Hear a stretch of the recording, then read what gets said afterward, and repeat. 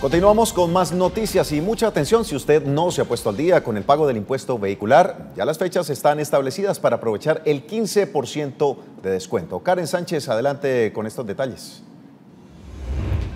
Hola, buenas tardes. Así es, ya se encuentran listas las fechas límites de pago para los propietarios de motocicletas y vehículos que aún no se han puesto al día con este impuesto. A continuación, conozca la fecha en la que tiene que pagar de acuerdo al número de su placa. Según el calendario de pagos aprobado por la Asamblea Departamental de Santander, mediante Ordenanza 065 del año 2017, se establecieron los siguientes plazos para quienes aún no se han puesto al día.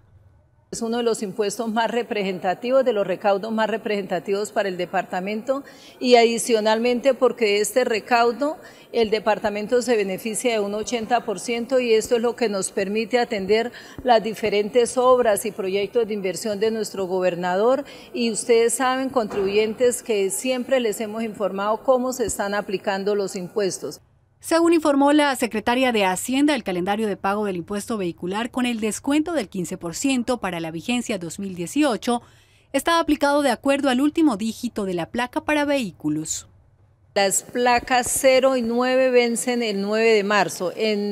Hay un total de 70.800 placas que corresponden a, este calendario. Eh, el llamado es de que aprovechemos el descuento del 15%. Motocicletas y vehículos deberán hacer este pago y quienes estén matriculados en la Secretaría o Dirección de Tránsito de los municipios del departamento, incluidas las rematrículas de la siguiente manera.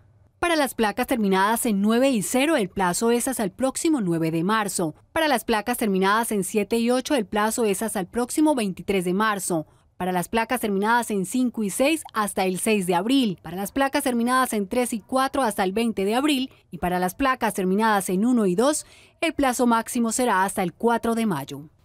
Muy bien, recuerde que es el 15% de descuento que obtendrá si paga en estas fechas establecidas, pero para mayor información igual pueden acercarse a la Secretaría de Hacienda de la Gobernación del Departamento. Por el momento es toda la información, continúen con más de Oriente Noticias. Feliz tarde.